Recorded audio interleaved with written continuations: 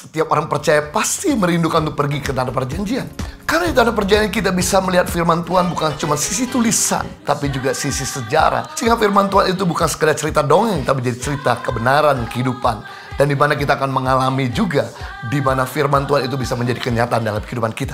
Pada tanggal 13 sampai 24 April 2020, kami mengundang Positive People untuk ikut bersama dengan kami perjalanan life change journey to Holy Land. Di mana kita akan menelusuri tempat-tempat perjalanan lama dan sampai perjalanan baru melalui Mesir, Israel, Palestina, Jordan, dan Petra selama 12 hari dengan investasi 2.395 US dollar maka kita akan mendapatkan semuanya itu sudah all in termasuk hotel bintang 4 dan bintang 5 dan bagi Bapak Ibu dan teman-teman positive people yang tertarik bisa menghubungi nomor di bawah ini.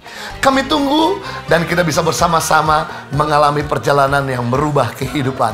God bless you.